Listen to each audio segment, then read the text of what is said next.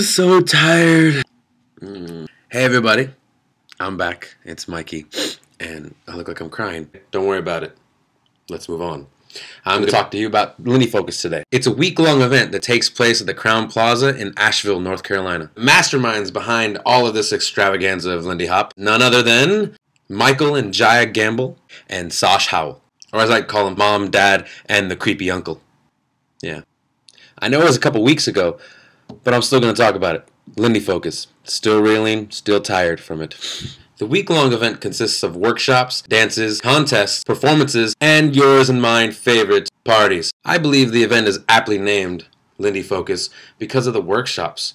Quite literally, every year they change the track system to be something more uh, attuned to the students and help them learn better and faster and, and more in, uh, in this whole entire week that they could ever learn on any other camp. This year they had Lindy Hop, Balboa, Blues, Solo Charleston, Burlesque, Tap, and they also had some classes on the lifestyle, some hairdo, you know, making your hair look all good, uh, mostly for the girls. Guys, gel, we're good.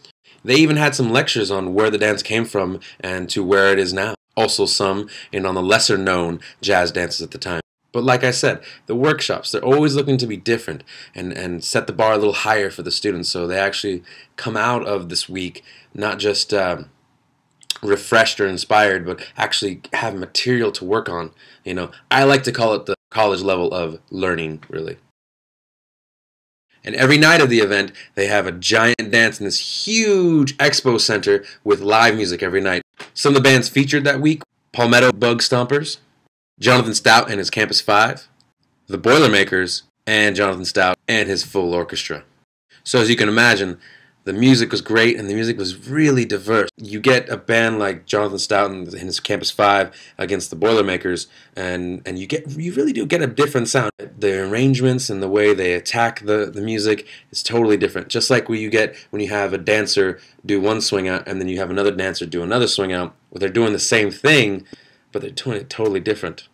The Palmetto Bug Stompers, man, they got that chunky Louisiana, New Orleans style playing, which I actually love to dance to. It's really fun to just dance to a washboard. Why not? And I may be super biased, but seriously, Jonathan Stout's orchestra freaking kicks ass.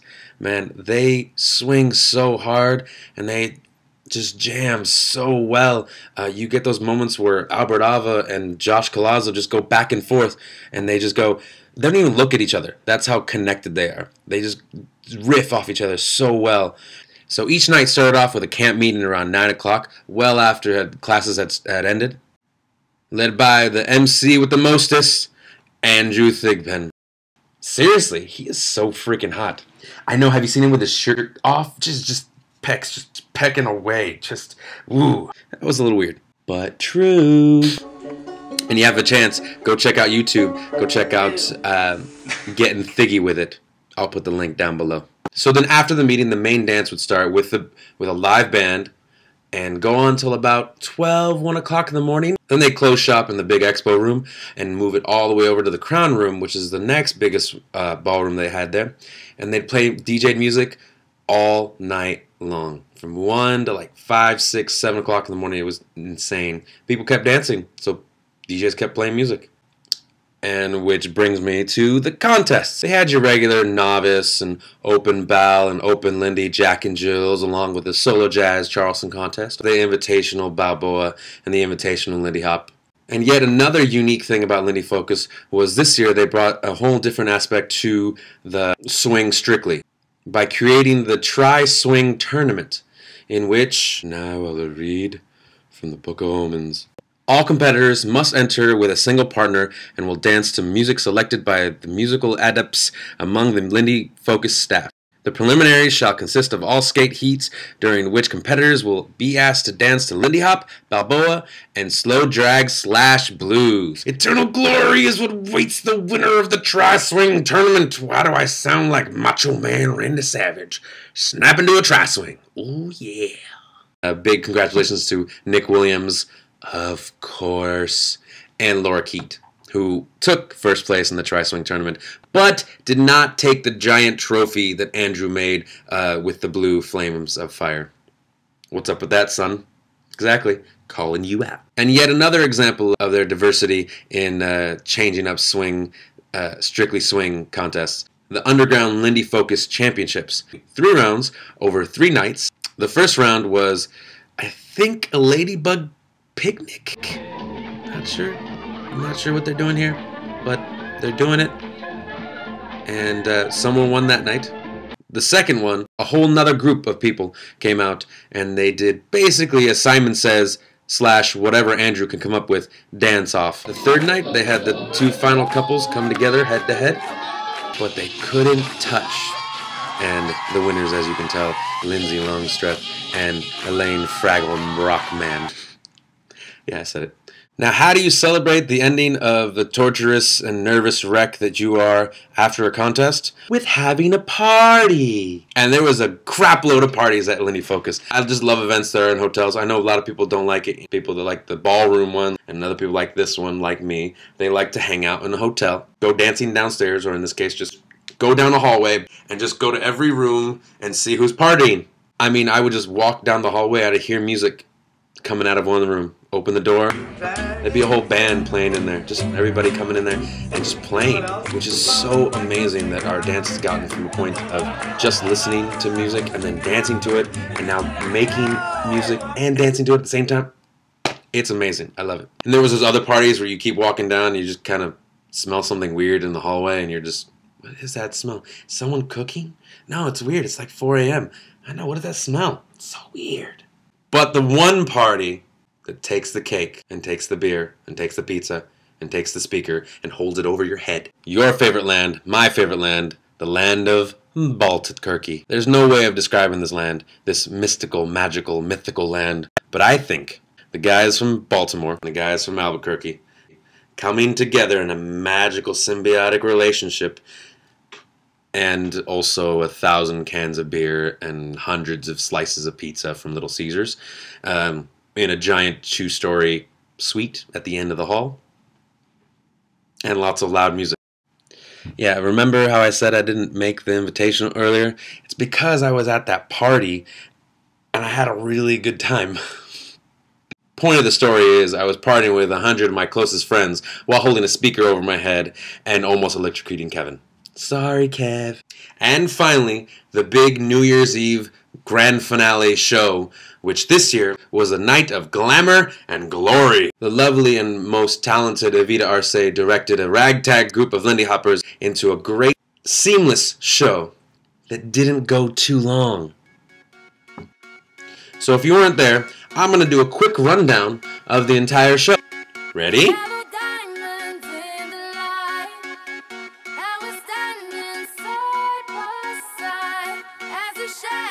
To kick off the show, Boom Shakalaka, Triple Teams, Boogie Woogie, and Lindy Hop. Kate Hadeen is killing me softly with her viola solo. And that dress. Mm.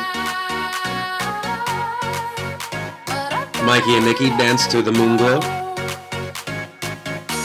A group of Charleston girls dance and show us how they really feel about each other.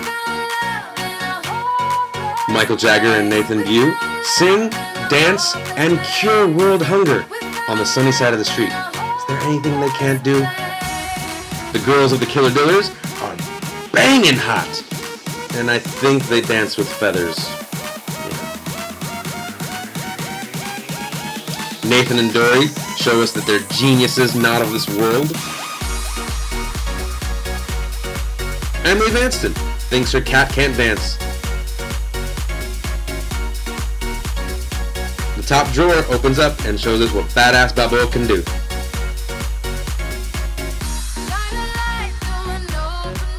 Michael Jagger again with Evita Arce can't keep their eyes off each other and dance with the red cape. They make anything look good. Those two dudes from Tips and Tops dance together and show us what they do in their spare time with their hats.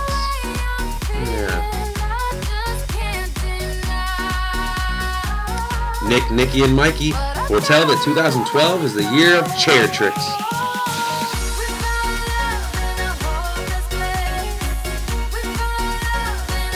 And finally, the Killadillas finish off the show by bidding us a good evening.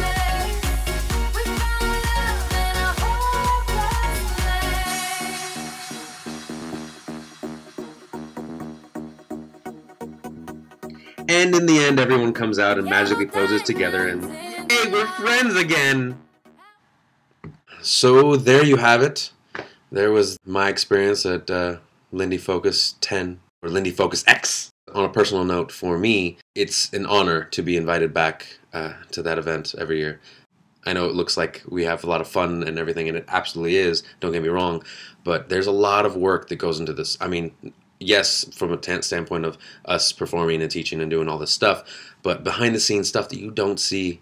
So thank you to all the volunteers, the coordinators, the people setting up sound every night, people making sure that the sound was working every night, the stage managers for the show, the entire staff of the Crowne Plaza for putting up with us. They were amazing. If I forgot anybody, I'm sorry, but thank you if you were involved in any part of this amazing dance event, sacrificing a lot of your time and your effort into making sure that everyone around you is having a great time. Uh, speaking as attendee, I had an amazing time, and I always say that a lot.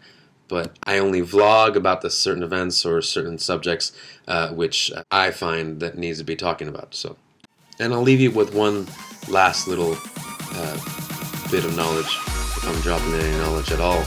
But I've just kind of recently picked up the mantra of take your dancing seriously, but don't take yourself too seriously.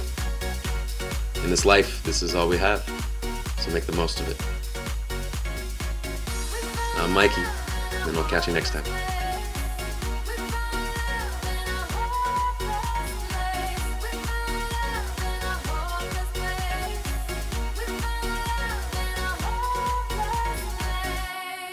in that game. Buffalo. P.S. Don't drink with William. Horrible. He he has a liver made of lead. It's weird. I think it's because he's French. I only vlog about the events that really touch me in a certain way,